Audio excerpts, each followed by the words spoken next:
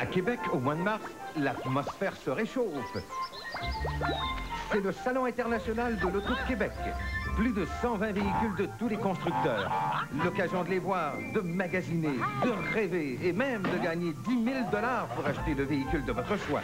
De plus, décrochez votre surprise Liberty au kiosque Belle Mobilité.